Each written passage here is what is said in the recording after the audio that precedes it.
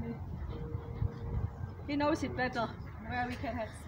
After, nach dem, dem Arbeiten, treffen wir uns auf der anderen Seite. Ich wohne da drüben.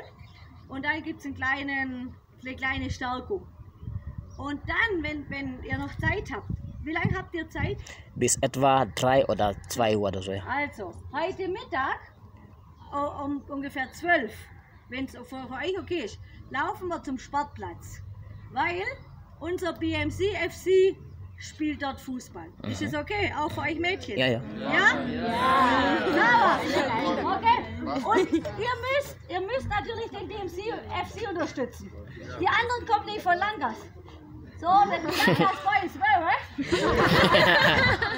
no, it's okay, yeah? You can uh, cheer the, the, the group you like, okay? Yes. Sauber. So, also ungefähr eineinhalb Stunden arbeiten wir ein bisschen, dann ein bisschen äh, Frühstück und dann gehen wir ein bisschen zum Sportplatz.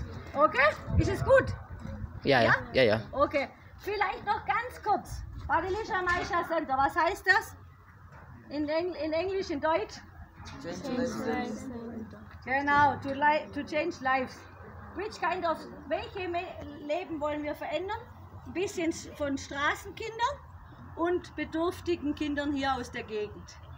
Wir haben jedes Jahr ungefähr sieben neue Kinder. Die sind hier drei, äh, äh, acht Monate.